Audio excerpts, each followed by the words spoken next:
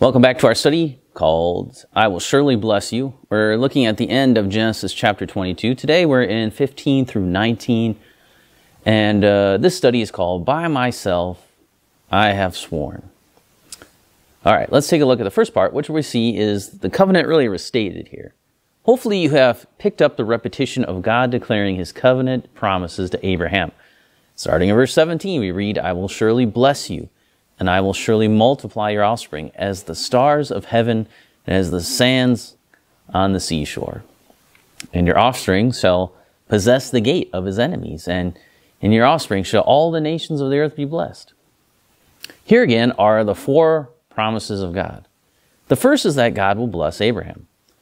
God's reaffirming his covenant, uh, his, his, covenant love, really, toward Abraham. It's not just a covenant, not just agreement. There's uh, the covenant love. Remember, we talked about uh, the Kesed. There's that mutual kindness, mutual love between God and Abraham that uh, was demonstrated between God and Abimelech, so or between Abraham and Abimelech. Uh, now, God has chosen here in the story to put His grace, His favor on Abraham, and the decades that have passed and the missteps that Abraham has had have not changed that. Abraham is a blessed man. That's it. Case closed. God's done it. God blessed. Nothing can change that. Uh, the second thing, Abraham is reminded that his offspring will be as the stars of heaven and as the sands of the seashore. He will be a father of multitudes. His offspring will be innumerable. At this point in his life, Abraham is still having to take this by faith because uh, since Ishmael is out of the picture now, remember he kicked him out, uh, Isaac is all he has left. He is the only child he has left now. The third promise is in verse 17, where Abraham is told that his offspring shall possess the gates of their enemies. This is really a restatement of what God has already promised Abraham when he told him to look around at the land of Canaan and he said that it would all belong to his family. But the promise doesn't just stop with the physical land of Israel. Paul explains to us in Romans 4:13 that God's promise was uh, was that Abraham and his offspring would be the heir of the whole world. It wasn't just going to be Canaan; it was going to be the entire world that they were going to get. so, uh, Paul also points out that all those that have faith in Christ are Abraham's offspring, and according to Jesus, his followers, the meek, would inherit the earth. And their enemies, even the gates of hell itself, will not prevail against them, according to Jesus in Matthew 6 18. Truly, the offspring of Abraham will possess the gates of the enemy. The fourth promise is the reminder that Abraham is being blessed so that he will be a blessing to the nations. And that promise has been in a state of being fulfilled since then, really. I mean, you look at the uh, the nation of Israel has always been a blessing to those people that it's been around. God's people, God's uh, God's followers have always been a blessing. The true followers, not the fake ones, the true followers of God have been a blessing. Now, there's been a lot of people that came along in the name of Christianity that were not a blessing. but I don't really think those were true followers of Christ. The true followers of Christ, those who were humble, meek, uh, lowly, those who were the nots, uh, those who were the nothings, uh, those are the ones that really were a blessing to the world. Well, let's look at the next section, and we see here that God swears. Now, this is kind of interesting. Uh, notice that this is the third time in this passage that God speaks to Abraham. He tells him to take Isaac and sacrifice. Then we're told the angel of the Lord speaks to Abraham, telling him not to kill Isaac. And then the messenger of the Lord speaks again in this section we're looking at today. The promises we have heard from God uh, before, that's what we've heard. We've already heard this promise. But we haven't heard it, uh, heard him say, By myself I have sworn. to understand what's going on here, all I have to do is turn to Hebrews 6 to read the commentary on this, on this passage. First, God swears by himself to show the certainty of his promises. Hebrews uses words like, uh, well, uh, what does it say? It says, it says final for confirmation. Um, It says more convincingly. It says things like unchangeable character or guaranteed and a sure, steadfast anchor. I think we get the point here. And They're, they're words that are meant to show that God's not fooling around. God swears by himself to build up Abraham's faith. Um, now you had the uh, you had the faith. He had the faith enough to believe that Isaac could be raised from the dead. Abraham uh, believes all the promises. He doesn't doubt any of the promises. Hebrews 6:15 says, "And this Abraham, having uh, patiently waited, obtained the promise." By all these things, God worked faith in the heart of Abraham. The author of Hebrews explains that when God made a promise to Abraham, since he had no one greater by whom to swear, he swore by himself. Since no one or no thing is greater than God, he cannot swear by anything other than himself. This is contrasted by human oaths, where people swear by something greater than them to prove their sincerity.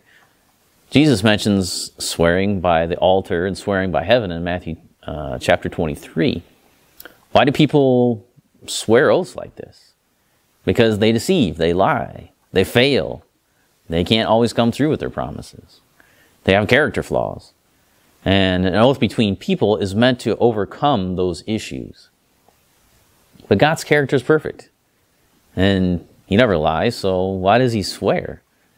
Well, Hebrews says to show more convincingly to the heirs of the promise the unchangeable character of his purpose. It's Hebrews 6:17. See, the problem is our problem. Abraham's problem, not God's. Abraham and we need to be reassured, not because of God's flaws, but ours. He didn't need to swear because we have, because uh, he has sin and flaws. We needed the oath. We needed it because we have sin and flaws, not because God does. We need the sure and steadfast anchor of our souls, or we may drift into danger. John James says, and what, uh, what shall preserve us from drifting on the shore and being stranded there? The anchor. Drop down your anchor, believer. You need it. I repeat, even more than in, this, in the storm, raging on the, on the broad ocean. Why are Christians so worldly? What have the scenes and circumstances of earth so powerful and influence over us? Why? Just because our desires and expectations of the eternal realities and infant possessions of heaven are so little, they're so little thought of and so little cherished.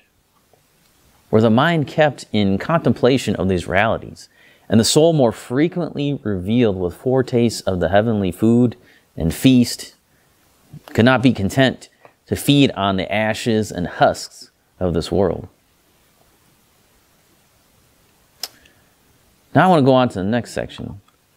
And we see another phrase here. It says, because you have obeyed. Because you have obeyed. One last thing here in this section. God says, because you have done this, I will surely bless you because you have obeyed my voice. He's talking about the sacrifice of Isaac. But wait, hadn't God already promised all these things to Abraham based on God's grace alone, right? The promise came decades before this obedience here.